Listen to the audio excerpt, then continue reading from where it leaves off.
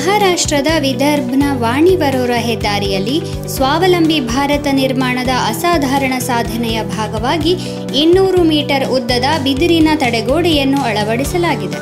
ಇದು ವಿಶ್ವದಲ್ಲೇ ಮೊದಲ ಬಿದಿರಿನ ತಡೆಗೋಡೆಯಾಗಿದೆ. ಇದನ್ನು ಬಾಹುಬಲಿ ಎಂದು ಹೆಸರಿಸಲಾಗಿದೆ.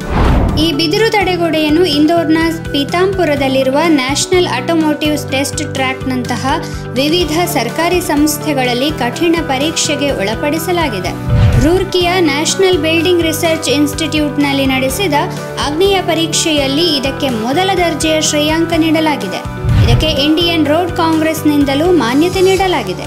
ಉಕ್ಕಿನ ತಡೆಗೋಡೆಗಿಂತಲೂ ಶಕ್ತಿಶಾಲಿಯಾಗಿಸಲು ವಿಶೇಷವಾಗಿ ಸಂಸ್ಕರಿಸಲಾಗಿದೆ. ಬಂಬೂಸಾ ಬಾಲ್ಕೋವಾ ಎಂಬ ಜಾತಿಯ ಬಿದಿರನ್ನು ಬಳಸಿ ಇದನ್ನು ಕ್ರಿಯೋಸೋಟ್ ತೈಲದಿಂದ ಸಂಸ್ಕರಿಸಲಾಗಿದೆ ಮತ್ತು ಮರುಬಳಕೆಯ ಹೆಚ್ಚಿನ ಸಾಂದ್ರತೆಯ ಪಾಲಿಇಥೈಲಿನ್ ಮೂಲಕ ಲೇಪನ ಮಾಡಲಾಗಿದೆ. ಬಿದಿರಿನ ತಡೆಗೋಡೆಯ ಮರುಬಳಕೆ ಮೌಲ್ಯ ಐವತ್ತರಿಂದ ಎಪ್ಪತ್ತು ಶೇಕಡಾದಷ್ಟು, ಆದರೆ ಉಕ್ಕಿನ ತಡೆಗೋಡೆಗಳ ಮರುಬಳಕೆಯ ಪ್ರಮಾಣ ಕೇವಲ ಮೂವತ್ತರಿಂದ ಐವತ್ತು ಶೇಕಡ. ಕಬ್ಬಿಣದ ಅದಿರು ತೆಗೆಯಲು ಸಾಕಷ್ಟು ಶ್ರಮ ಬೇಕು ಹಾಗೂ ಗಣಿಗಾರಿಕೆ ಪರಿಸರಕ್ಕೆ ಮಾರಕ.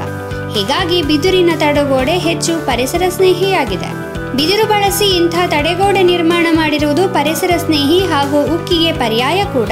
ಗ್ರಾಮೀಣ ಭಾಗದ ಕೃಷಿ ಸ್ನೇಹಿ ಕೈಗಾರಿಕೆಗೆ ನೆರವು ನೀಡುತ್ತದೆ ಎಂದು ಸಚಿವ ನಿತಿನ್ ಗಡ್ಕರಿ ಹೇಳಿದ್ದಾರೆ.